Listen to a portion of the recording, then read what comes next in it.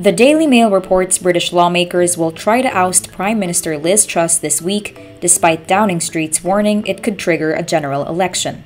Quoting unnamed sources, the tabloid reports more than 100 members of parliament from the governing Conservative Party are ready to submit letters of no confidence in Truss to Graham Brady, the head of the Conservative Party's committee. Separately, The Times reports some lawmakers have held secret discussions on replacing Truss with a new leader.